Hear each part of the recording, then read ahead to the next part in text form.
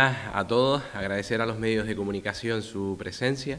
Eh, nos acompaña también eh, nuestro alcalde, Francisco Linares, que juntos pues vamos a presentar el presupuesto del ayuntamiento de esta villa de la Orotava para el 2024, eh, un presupuesto que incrementa, un presupuesto histórico porque asciende a 50 millones de euros, un 7% más que en 2023 estamos hablando de 3 millones de euros más y este presupuesto tiene cinco características eh, fundamentales. Por un lado, es un presupuesto prudente, acorde a la situación económica que estamos viviendo en el mundo, eh, pues marcado por conflictos bélicos, marcados por el aumento de precios, por ese aumento de la cesta de la compra que también afecta a todas las familias y que también afecta a las administraciones públicas, como también es el ayuntamiento de la Orotava. Y por otro lado, eh, recordar también que el ayuntamiento pues, está eh, saneado, no tiene deuda y eh, además hemos conseguido que el periodo medio de pago del ayuntamiento se sitúe en tan solo 23 días a los proveedores. Por otro, lado, y también importante, otra característica es que eh, hay una incertidumbre eh, por parte del Gobierno del Estado sobre si impondrá eh, las reglas fiscales a los ayuntamientos, a las administraciones públicas. Recuerden que nuestro alcalde exigió, con motivo de, de la crisis generada por la pandemia, que se dejara a los ayuntamientos acudir a esos fondos que tenemos en los bancos, que son esos ahorros de todos los vecinos y vecinas que están pues para cuando se necesitan. El Ayuntamiento de La Orotava ha venido haciendo uso de los mismos y por lo tanto no sabemos qué va a pasar el próximo año, pero que ojalá podamos seguir acudiendo a ellos porque gracias a ellos los, eh, presupuestos de esta administración se pueden también seguir eh, incrementando y ayudando primero que nada a las personas que luego vamos a ver cuáles son las prioridades de este presupuesto. Y otra característica eh, también de este presupuesto, muy importante, es que incrementa sin la necesidad de subir ni un solo céntimo los impuestos y las tasas que pagan nuestros vecinos y vecinas. Todo lo contrario, el próximo año, nuevamente, el Ayuntamiento de La ahorrará a los vecinos a través de bonificaciones, es decir, descuentos en diferentes impuestos y tasas, pues por eh, familias numerosas, por pensionistas, por diferentes situaciones, o por ejemplo esas eh, bonificaciones que hay para la instalación de placas fotovoltaicas, pues en definitiva más de 100 bonificaciones que van a suponer un ahorro de un millón de euros para los vecinos y vecinas de la Orotava. En este caso, eh, como decíamos, es un presupuesto que es realista, que también es ambicioso y que eh, cubre las necesidades que las personas que vivimos en esta villa eh, tienen y que apuesta por seguir mejorando la Orotava. Nuestro alcalde siempre lo dice, primero las personas, en este caso una de las prioridades que el grupo de gobierno tiene y estamos muy orgullosos de que el grosor del presupuesto sea para atender las prioridades de las familias, en este caso eh, de bienestar, a, través del área de bienestar social que incrementa su presupuesto, superando ya los 7 millones de euros, un incremento del 7%, y va destinado pues, a la atención a los mayores. El año pasado ya habíamos incrementado el presupuesto para atender a las personas dependientes en 700.000 euros. Este año lo dedicaremos a mejorar los servicios de día para que los más pequeños de la familia pues, puedan también eh, disfrutar de los mismos y garantizar la convivencia familiar. Por otro lado, también importante dentro del área social está todo lo que tiene que ver con la formación y el empleo, donde también le destinamos eh, pues un importante capítulo a la formación con un nuevo programa destinado a los jóvenes. Y por otro lado también eh, se incrementa, se triplica en este caso las ayudas para emprendedores, que en este caso, eh, en este año, pues mm, ya lo habíamos hecho y para el presupuesto del próximo año lo volvemos a hacer y por supuesto sin dejar de atender, eh, pues como decía, eh, a menores, infancia, políticas de igualdad, la asistencia a personas dependientes, mayores, etcétera, que ahí pues eh, el Ayuntamiento de Orotava pues tiene pues una, una de las principales inversiones. en segundo lugar, y no por ello menos importante, la cultura, la educación, el deporte, otra de las banderas de las señas de identidad de nuestro municipio y que también estamos hablando de personas, eh, podemos estar orgullosos del plan de actividades extraescolares, del plan de becas y ayudas al estudio, de las subvenciones a los más de 54 eh, clubes deportivos con los que cuenta el municipio, la intensa actividad cultural que hay durante los 365 días del año, no solo en el centro, sino en todos y cada uno de nuestros barrios, eh, eventos culturales únicos en Canarias, como pueden ser pues, el Festival de Cortos, la Feria de la Ciencia, el Festival de Música de Cámara, en, fin, o por ejemplo ahora que eh, se acaba de presentar el programa de actos de, Navidad con más de 120 actos, es decir, en definitiva, pues una apuesta por la cultura potente y es un área donde también eh, se incrementa. Y por supuesto, en jóvenes y por supuesto las fiestas que son nuestra seña de identidad. En toda esa gran área se invierten 8 millones de euros. Eh, insisto, cultura, educación y deportes, invertir también en el futuro de, los, niños y de los jóvenes de este municipio. El plan de inversiones. Este año supone un 10% del presupuesto, también incrementa, pasando de 3 millones a 5 millones. En este caso, un plan de inversiones para seguir mejorando la rotaba. ¿En qué? Por una parte están las infraestructuras. Se planifican nuevas infraestructuras, como puede ser un espacio cultural para los altos de la villa, concretamente en el Manuel de Falla, con prácticamente medio millón de euros. También se dota una nueva partida que supone un plan de cubrición de polideportivos para todos, para ir progresivamente, poco a poco, cubriendo los polideportivos de nuestros barrios y que en este caso tiene una partida muy importante de 800.000 euros. Se continúa también con una importante dotación para los centros escolares, en este caso de 300.000 euros por un lado para todos los colegios públicos y una partida también, compromiso y palabra de nuestro alcalde que eh, se comprometió a abrir la escuela infantil de la Villa Arriba y existe una partida específica para que la, escuela infantil pueda abrir sus puertas y se dota pues con más de 200.000 euros también eh, para aprovechar y, abrir esa, esa infraestructura. Hay otras mejoras en parques infantiles, en la red de alumbrado público, aguas, en el patrimonio histórico, obras de aprovechamiento energético, mejora de, de, de todas las instalaciones deportivas, la reforma del auditorio de Tobaldo Pover que continúa su curso, también está la aportación municipal para esa importante obra de cara al futuro de la villa. Y otra novedad en el, en el presupuesto es la dotación también importante de casi 300.000 eh, euros para, una, para la apertura de una nueva sala de estudios en el, en el centro histórico del municipio. Dentro del plan de inversiones, el otro gran capítulo es para la rehabilitación de vías públicas, plazas y zonas verdes, que esto es un auténtico pues, plan de barrios donde se incluyen obras en todos los puntos del municipio, desde el asfaltado de calles, mejora de plazas, mejoras de zonas verdes, por supuesto también seguir contribuyendo con el medio ambiente a través de, de esa puesta en marcha progresiva de puntos para las recargas de vehículos eléctricos, la instalación de unos nuevos baños públicos, la apuesta decidida que nuestro alcalde siempre ha hecho por el consorcio del Rincón, también se refleja en este presupuesto y por supuesto otro proyecto estratégico para el municipio es la rehabilitación de la carretera de los Altos, de las Cañadas, la TF21.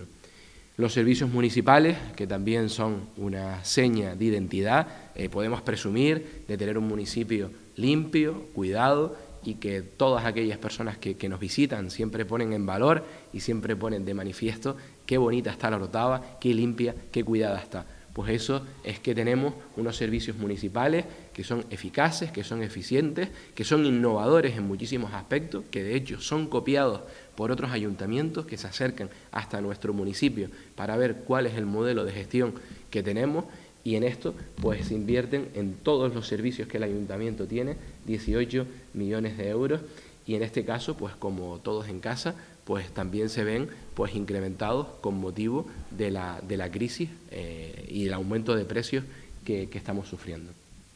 Por otro lado, es una villa segura. Bueno, pues aquí eh, la inversión es de 4 millones, en este caso se contemplan nuevas plazas para la policía local, porque recordemos que eh, se, jubilaron en un total de 17 policías locales al bajar el estado de la edad de su, de su jubilación y por lo tanto el ayuntamiento ha ido progresivamente haciendo una incorporación. En este caso, para, para este 2024 está previsto la incorporación de 10 agentes nuevos y ya se crean 7 plazas nuevas, en total 17 plazas de policía local. Y en este caso, pues también otra de las inversiones eh, nuevas en el presupuesto es la adquisición de un, de un vehículo especializado en extinción de incendios para seguir mejorando la dotación de vehículos y de maquinaria que el grupo de voluntarios de protección civil, que hace un trabajo extraordinario, lo hemos visto en el pasado mes de agosto en el tremendo incendio que nos tocó sufrir y en este caso la labor del voluntariado es importantísima y si además se les dota de medios, pues estamos seguros que van a seguir haciendo una, gran labor y mejorando cada día. Y por otra parte, el consorcio de extinción de incendios, eh, en este caso los bomberos, donde el ayuntamiento también incrementa su aportación. También otra de las características que tiene este, este presupuesto es que se incorpora pues por primera vez un proceso de participación ciudadana que se ha venido llevando a cabo durante todo el año y que en este caso, bueno, está claro que nuestros presupuestos siempre han sido participativos, eso no es una novedad, porque bueno, nuestro alcalde y los concejales pues están siempre en la calle, con las asociaciones de vecinos, en nuestros barrios, siempre se ha estado escuchando y siempre el presupuesto lo que hace es reflejar las necesidades de los villeros y villeras. En este caso pues se ha procedido a hacer un reglamento para que todos podamos participar y en este caso, pues de ese proceso de participación ciudadana han salido más de 50 eh, propuestas para incluir en estos presupuestos y en este caso, pues el Ayuntamiento de pues tiene en el presupuesto 3 millones de euros que van destinados a poder cubrir también todo ese proceso de participación ciudadana y cumplir también con esa, con esa demanda. Eh, sin más, pues eh, en este caso le voy a pasar la palabra a nuestro alcalde, Francisco Linares. El mayor eh, número en las cuentas de nuestro pueblo de los últimos 40 años, con la mayor bajada de impuestos que hemos tenido a lo largo de los últimos cinco años. Sumado este millón que acabamos de ahora ver, desde el año 2019 hasta este año 2023, posiblemente hemos bajado casi 4 millones de euros de impuestos, de tasas, lo cual al final supone un ahorro considerable que el ciudadano de a pie tiene porque tiene que pagar menos. Si pagas menos, tienes más disponibilidad en tu casa, en tu ámbito, para que pueda desarrollar una vida normalizada. Y como antes dije, pues la primera vez en la historia que llegamos a 50 millones de euros. Unas cuentas son siempre una imagen aproximada. No quiere decir que esto a lo largo del año 2023 queda así, posiblemente se pueda aumentar incluso, pero como el concejal dijo, viene un año lleno de muchas incertidumbres, no solamente económicas, sino geopolíticas también. Hay una serie de guerras en, en el mundo que desgraciadamente influyen en la economía doméstica y de una forma importante. Petróleo, electricidad, luz y muchas de esos productos que consumimos en casa que vienen de lo que se importa del mundo entero. Por eso hemos hecho unas cuentas de 50 millones de euros que son prudentes, son responsables y pensando en que tengamos asegurado cubrir los servicios esenciales para el próximo año 2024. Como ven, a grosso modo se destacan cantidades importantes que el área de bienestar social, que al final va directo a las personas, eh, ronde 7 millones de euros, posiblemente batimos el récord en todo el norte. Pero seguimos pensando que es un área fundamental, crucial, importante y que debe estar dotada con una cuantía económica como la que les, les digo ahora, de 7 millones de euros. Pese a que el número de parados ha bajado de una forma importante. Actualmente los sueldos que hay difícilmente se puede cubrir el mes entero. Mucha gente tiene que acudir a los servicios sociales para acabar el mes y es nuestro compromiso no dejar tirado a nadie, sino ayudar que si a final de mes hace falta esa última comprita para que se pueda eh, que se acabe el mes de una forma digna, pues poder desde esta casa eh, echarle una mano. Y sobre todo a esa gente que desgraciadamente pues cobra cantidades ínfimas y que bueno, necesita que su ayuntamiento le ayude a subsistir de una forma digna cada mes. Importante también que el área de educación, deportes, cultura y el área de, eh, de juventud mm, invierta 8 millones de euros. Es un récord total en un municipio de 42.000. Eh, eso es un récord histórico, pues porque bueno, supone una inversión eh, que en casi ningún lado se hace y que para nosotros es una piedra angular también. Invertir en educación, en deporte, cultura y en nuestros jóvenes eh, juega un papel fundamentalísimo en tener un municipio sano, formado y con unas actividades educativas y culturales dignas. Este año 2023 hemos desarrollado en el municipio más de 180 actividades culturales a lo largo del año entero. Y además lo hacemos diversificando en el casco y en los barrios. Quiere decir, ya yo acuñé una frase hace muchos años atrás de la cultura al alcance de todos y nos hemos empeñado y hemos seguido esa línea los 25 últimos años de que vivas en el barrio o vivas en el casco, tengas acceso a una serie de actividades culturales importantes. Esto hay que sumarle también que tenemos 15 escuelas municipales abiertas, eh, de forma que ahí, pues posiblemente, sumado todo, hay más de 3.000 jóvenes, 3.000 jóvenes que acuden a actividades eh, deportivas de jóvenes y de actividades socioculturales por las tardes a lo largo de todo el curso escolar. Tener ahí a 3.000 o 4.000 jóvenes significa un trabajo de prevención de salud pública, porque al final quien hace música, quien hace folclore, quien hace teatro, quien acuda a cualquier de estas escuelas es un joven disciplinado, ordenado y encima suele ser un estudiante excelente también.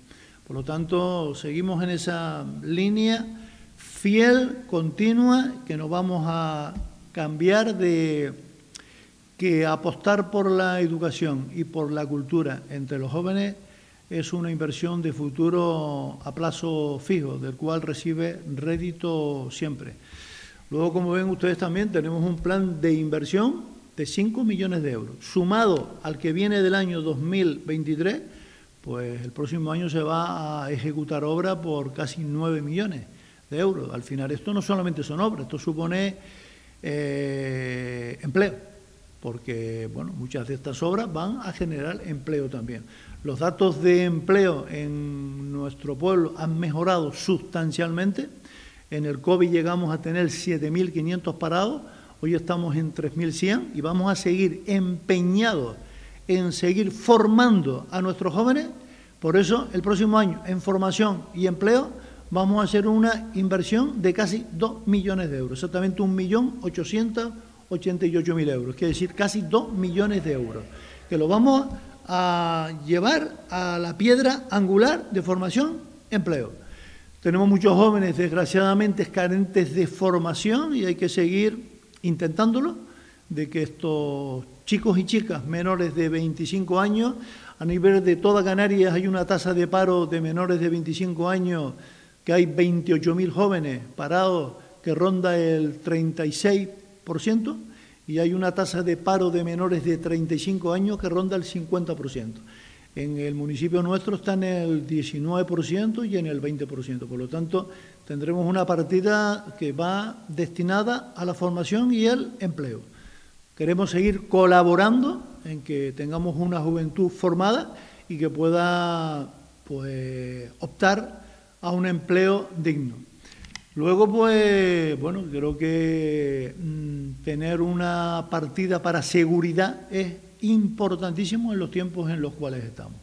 Estamos hablando de cuatro millones de euros largos que van destinados fundamentalmente a la policía local por un lado y protección civil por otro. Creo que podemos presumir de una forma mm, alta y clara que tenemos una de las mejores protecciones civiles de Canarias, no solamente por el personal que tiene, sino por la dotación que tiene también. No nos acordamos de ella casi nunca, pero nos acordamos cuando hay incendios, cuando llueve mucho, cuando hay viento, que están siempre ahí. Y por supuesto vamos a seguir fortaleciendo la plantilla de nuestros agentes de la policía local, Pues saben que hace unos cuantos años se nos jubilaron más de 15 y bueno, vamos a seguir creando plazas para tener un municipio protegido, seguro y tranquilo, que es una de las características que, nos, que nosotros llevamos ya manteniendo desde hace años. También con esto, lógicamente, necesitamos la colaboración de la ciudadanía. Cualquier cosa que se vea rara, cualquier siempre llamen, porque se intenta actuar de forma conjunta, Guardia Civil, Protección Civil y, por supuesto, los casi 50 agentes que en la policía local tienen. Luego hay un tema muy importante, las bonificaciones. Muchas de ellas no se dan porque la gente ignora que existen. Existen casi 100 bonificaciones. Yo creo, creo que en Canarias pocos ayuntamientos tienen 100 bonificaciones activadas. Bonifar, eh, cuando se dice la palabra bonificar, significan descuentos. Quiere decir, muchos de ellos son del 25%, muchos de ellos son del 40%, pero muchos de ellos llegan al 90%. Entren en nuestra página web y entérense de todas las bonificaciones que nosotros tenemos. Al final, la palabra bonificar es descontar y es beneficiar la renta per cápita que cada ciudadano de este pueblo tenga. Por lo tanto, una nueva este año que creo que es importante es bonificar al 100% el pago de la tasa de ocupación que los restaurantes y los bares tienen, que eso pues, para cualquier restaurante y cualquier bar pues, supone pues, un alivio y un descuento de pagos que bueno, contribuyen en acabar el año de una forma importante. Tener un municipio de 50 millones de euros es gracias a la colaboración que la ciudadanía hace de pagar legalmente, puntualmente, sus impuestos. Pero tengan en cuenta que aunque pagar no nos gusta a nadie, cuando pagamos nuestros impuestos, colaboramos en todo esto que estoy yo hablando. Queremos tener una juventud sana, tenemos que tener las escuelas municipales abiertas. Queremos tener un joven que tenga que estudiar en cualquier parte del mundo tenemos que tener un plan de beca dispuesto. Y aquí, si un joven viene, colaboramos con ese joven para que vaya a hacer un máster a cualquier parte del mundo. Tenemos que pagar nuestros impuestos. Queremos tener un municipio seguro, limpio, un municipio con, uno, con una marca de, mm, por ejemplo, jardines, de parques. Tenemos 58 parques infantiles. No solamente es hacerlo, hay que mantenerlo también. Todo eso cuesta iluminación, dos millones de euros casi. Limpieza viaria, otros dos millones de euros casi. Parque, jardines, otros dos millones de euros. Quiere decir, tener el municipio abierto cuesta 50 millones de euros. Y lo hemos conseguido bajando los impuestos casi cuatro millones de euros a lo largo de los últimos cinco años. Y estamos saneados y no debemos nada a nadie. Y encima cuando encargamos cualquier obra, esa empresa, que suelen ser pymes casi todas, cobran a los 23 días. Creo que estamos en un ranking de marcas de municipio espectacular. Y eso no lo hemos conseguido la parte política solo, lo hemos conseguido el municipio actuando como un equipo.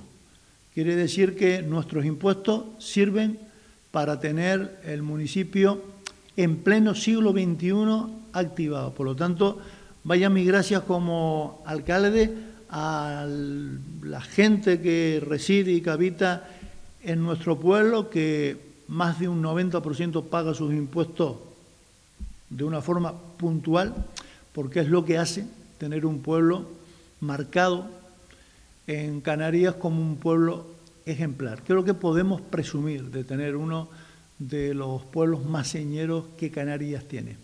Por lo tanto, pues lo llevaremos al pleno del próximo lunes y entrará en vigor en enero del próximo año y vamos a intentarlo ejecutar todo. Quiere decir, los dineros públicos no están para estar en los bancos, están para ser ejecutados, gastados en bienestar de la ciudadanía. Los impuestos se pagan y tienen que revertirse para que el ciudadano de a pie vea que su municipio camina, que sus hijos están formados, educados y cultos. Al final es la satisfacción que cualquier persona que habita en nuestro pueblo tiene. Agradecerle a todo el equipo técnico que ha hecho posible que todas estas cuentas salgan. Agradecerle, lógicamente, al concejal el trabajo de coordinación para que todo salga. Y dentro de un mes tendremos el presupuesto 2024 actuado. 50 millones de euros que dará beneficio, dará vida, dará educación, dará cultura, dará proyección a nuestra villa a lo largo del año 2024. Buenos días muchas gracias a todos y a todas.